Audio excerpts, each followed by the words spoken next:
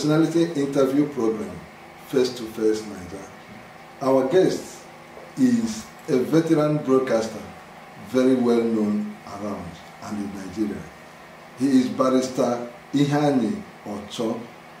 Today, he attends, he, he acts one in his life. He is, today is his birthday, in other words, and um, we decided to celebrate him, you know, having contributed so much during his career. And uh, we decided to have a chat with him, to rub minds with him on some contemporary issues. Barrister Ihani, Ocho, you are welcome to our program. Thank you very much. Yeah, sir, can you, uh, I think the introduction should be better done by you. So tell the world who, who is Barrister Ihani Ocho.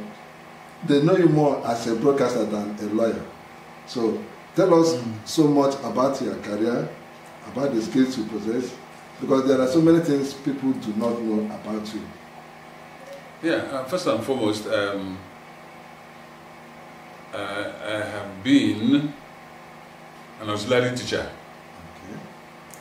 In fact, immediately after my secondary school, because of the type of result I had, uh, I was employed as an auxiliary teacher in the school I attended, but an also secondary school, the Korazu, in. I stayed there for some time. Um, wanted to go to the seminary, or rather, wanted to be a priest. Something happened along the line. I left that area. Went to um, ATTC. Okay. What is the, ATTC? The, the present day um, Ikoku College of Education. Uh, Federal- Advanced teachers. Advanced Teachers, yeah. It used to be a ATTC, Advanced Teachers Training College, Owerri, um, in, the- in the early 70s.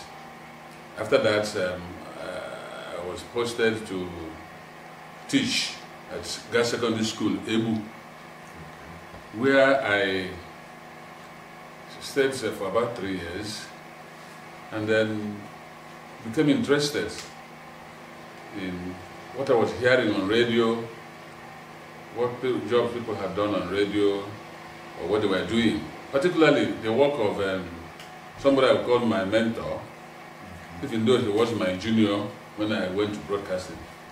His name is Nnamdi Olebra. It was his work that um, attracted me to broadcasting. And so I went into broadcasting, worked with him, tried to see whether I could beat him on the job. But, you know, he, he is a figure that uh, you cannot beat. So I, I, I veered into the special aspect of broadcasting, drama. Okay. I started writing scripts for the drama department, in addition to presenting programs. So I became a producer and a presenter, and um, along the line, got trained locally uh, in, in here. In, in 1980, or thereabout, I went to Lagos, Federal Radio Corporation of Nigeria, FRC, and training school where I stayed for some time and learned the, the job to help my station. Um, in 1983 also I went to BBC London for another training and then came back and started working for my station, IBC. Then, for my, then IBS, it used to be IBS, Imo Broadcasting Service. Later, in fact, it was when I was in London that they, they changed the name to IBC, Imo Broadcasting Corporation. So I left the place as um, IBS, went to London. By the time I came, I came back, it was IBC. IBC. Yeah. So we came and started doing the job. While doing the job also, we, we had interest in so many other things. Like what? Uh, um, law. I decided to um, veer into law, not because I didn't like my profession of broadcasting, but I wanted something I could lean on after I had left um, the main job of broadcasting. And, I got called to bar uh, early 20, uh, 2020, I mean 20, 2002. 2002. 2002. Okay. And since then, and just before I left the broadcasting organization on retirement, I had already become a lawyer for so many years. And then it wasn't difficult for me when I left to move into legal practice. Okay. And from legal practice, I continued writing my books. I'm an author also. Okay. I have books to my credit. What, what kind of books? Um, Because we, we know they said that you, are- you are a poet, you Yes. write drama. and I, I'm a playwright. Okay. I'm, I am a poet. I am a, um, a humor monger. yes, I'm a humor monger. I like um, humor. In fact, the first book I wrote, which is um, Your Happy Moments, is simply a compendium of humor, witticism, epigrams, and all, all those things. Um, even the second, the second one wasn't as broad as um, large like the first one, but the third one that is on, on now, which is going to come up very soon, which I titled uh, Joy Without End, is still the same humor. And then plus some aspects of uh, current affairs. I like to be part of what is happening around me. And so these are the things I. Plus maybe some other things uh, that, that human beings do, which I uh, also involve myself in. Before um, this time, I, I- I have my uh, as my hobby or hobbies uh, tennis. I played tennis very very well when I when I had all this energy and strength when I was very agile. I'm also a chorister. In fact, uh, I'm a pioneer uh, member and uh, founding chairman of the Holy Cross Choir, Aladimma, Holy Cross Catholic uh, Parish Choir, Aladimma, uh, where I'm also a, pillar according to the, title given to us, the awards. Okay, sir. So when did you leave uh, employment as a broadcaster? 20 on, on my uh, birthday 2010 on my birthday anniversary of 2010 about 13 years ago that- that was when I left broadcasting You, you left, uh, you retired from, broadcasting from broadcasting and moved into law practice. I moved into law immediately in fact I got myself attached to somebody who, who encouraged me when, when I was uh, reading law. One barrister um, Uzo Moyike. He stays at MCC Road. Uh, over here. Was my mentor in a way. So I got into his chambers and we were there doing it until when I could no longer be with him because of, um, like somebody say, because of circumstances beyond control post. yeah, so Okay. Okay, so uh, uh, while it lasted, what was the experience like in broadcasting? Oh, very, very beautiful experience. In fact, see, broadcasting is um, a very glamorous profession. Just like law, law is uh, gla- glamorous. But uh, in, when, when we, when we started, we were everywhere. We did everything.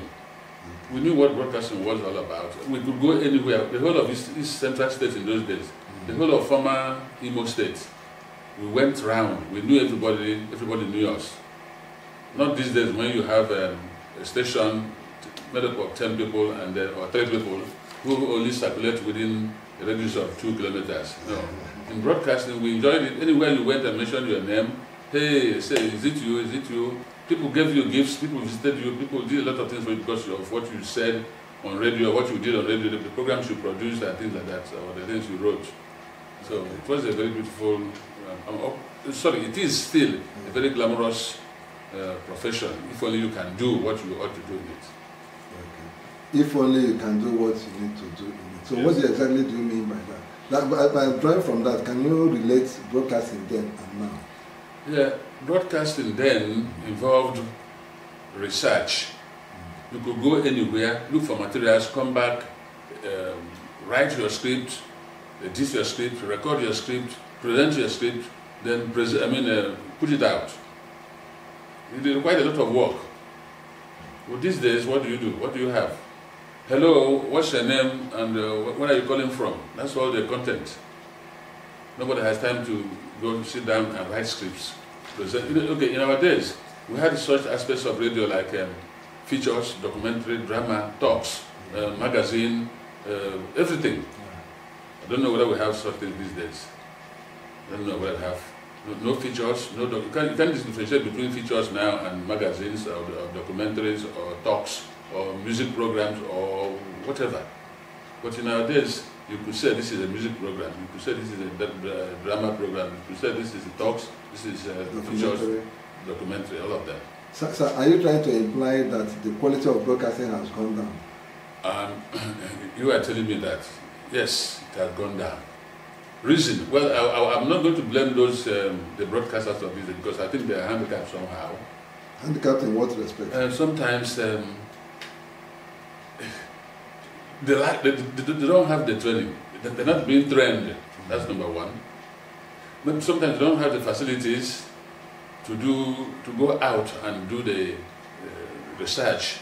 It- though, in our time, um, we had vehicles that would take us to places where we would do make contacts and work. though they have an advantage over us anyway because of the technology we are you, having you these didn't have them. uh, which we didn't have. You could stay here and make contacts and somebody gets you something for, for, for the air. But how many of them are really serious with the thing? Somebody just coming from nowhere gets into the studio and starts talking. And of course they veer out of their, their, their line because they, they don't have uh, depth. There's no, there's no depth in whatever they are talking. Only, hey, what- what is, what is your take? Whatever, that, whatever is the take of that person listening, it becomes the, the content for the day.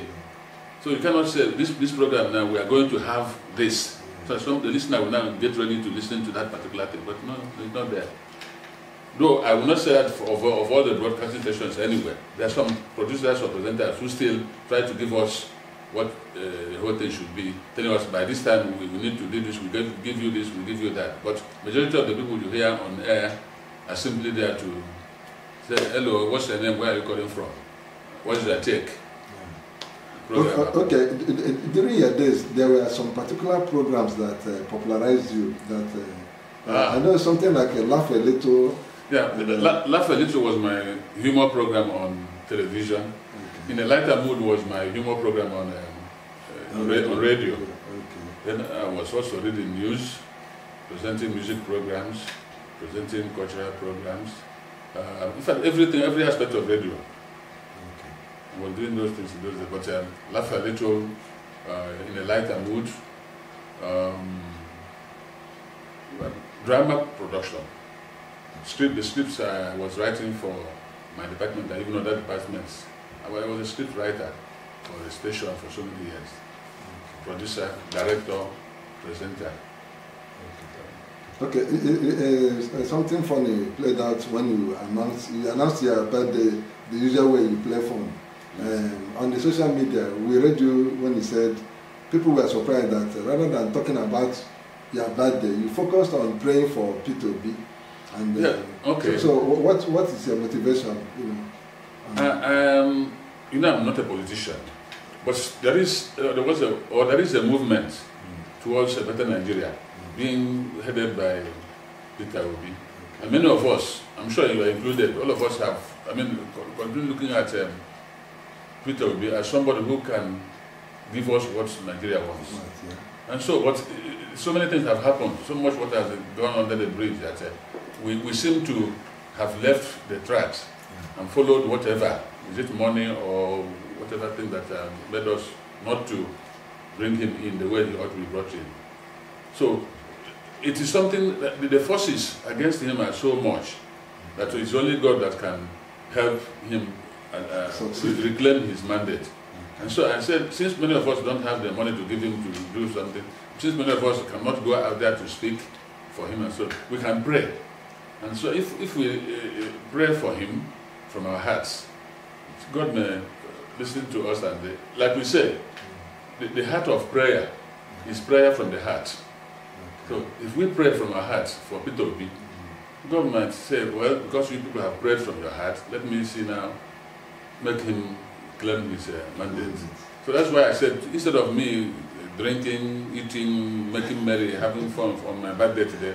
Let all my friends join me and then pray for people so that um, the, uh, the, our common good, our common goal, our common cause, which is pursuing, might come to fruition. Which is the interest of all of us. The interest of all of us who, who want good governance, who want good government, who want good life for all Nigerians.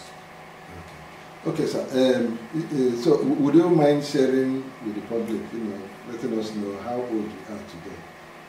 You know, you know, Africans, Nigerians, Yeah, they'll tell you the add is plus one. So, But, are you uh, also uh, adding plus one? Uh, uh, yes, my, my little boy uh, in those days was asked during my uh, laugh at literacy, uh, boy, how old are, how old are you?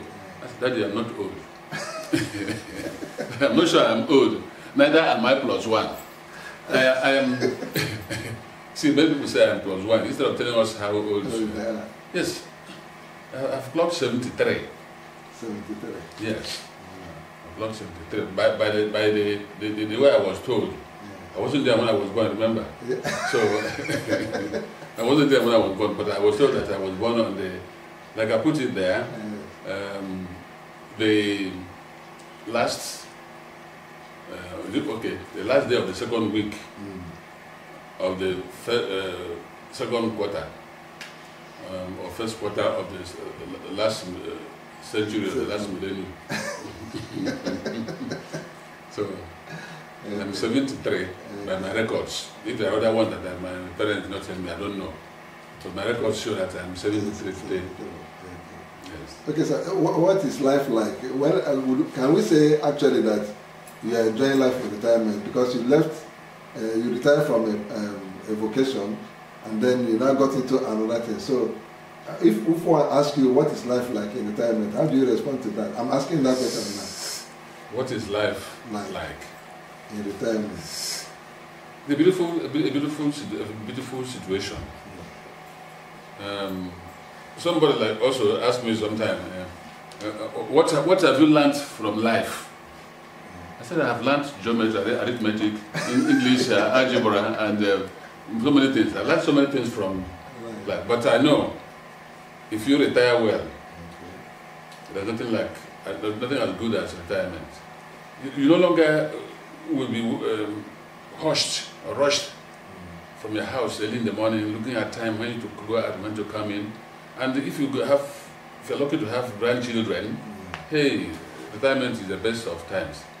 You no longer watch your normal pro- programs. You watch the children's program now, and you see yourself going, becoming younger and younger in Yeah. in, in heart and so on and so forth. So, if you retire and you are given your uh, uh, whatever you desire, you deserve from government, your gratuity and your pension, there's nothing better than retirement. In fact, I'm concerned because at my age now, at my retirement, I'm not going to look for another wife. I'm not looking for another employment. I'm not building another house. I'm not, don't, what else am I looking for? If not to say, hey, remain in my house, keep myself happy, keep my family happy, enjoy my grandchildren, and then give thanks to my God. That's all. So can we I'm, I mustn't be there until I'm, I'm pushed out. I don't get so they don't want to go. No, no, no, no. No. I retired when I should, and I've been enjoying my life, apart from the little, little ups and downs of life, which everybody has. Uh, some of these things we have, uh, uh, some of the challenges, health challenges, which many of us do have at a result of age. But retirement is a good time. If only government will realize that those who retire should have their gratuities. It's 13 years now since I retired, and yet no as for gratuity.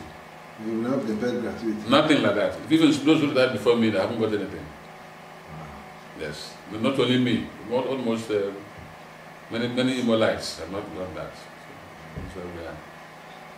It's okay. Um, today, by virtue of uh, um, your retirement, your contribution to the society, you qualify to answer an elder in the state. And um, so many things have been going wrong in the state, according to, if you feel the pulse of the people, people report of poor governance. And uh, typically, Igbo society, one would expect that when something is going on, the elders will come out and shout. But in Imo State, in, a, in Igbo, Imo, Imo, Igbo land, in Igbo land, the people who are running government are younger ones, and the elders are there, and so many things are going on, and they're not talking.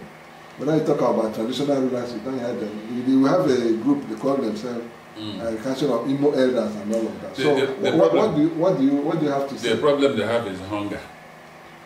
Hunger, because they are hungry. Whosoever gives them one naira, they, they talk nonsense.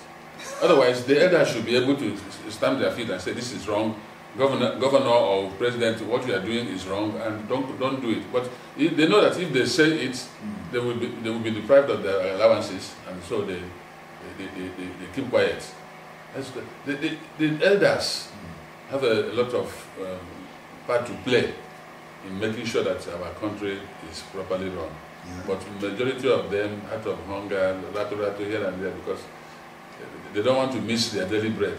Many of them look away look the other way so that the government will. And fear, insecurity.